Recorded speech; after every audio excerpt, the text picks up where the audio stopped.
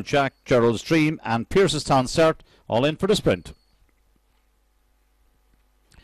Up they go away in racing, three and four away quickly from one, five, six, and two. They head on down to the opening corner. Three leads in front from four on the outside of one. They swing between the final two bends. Up front, the white jacket of Cruzin Buster leads from one in the centre now. Four challenging down the outside, but three is going to hold on. It's three, four, one, 1796.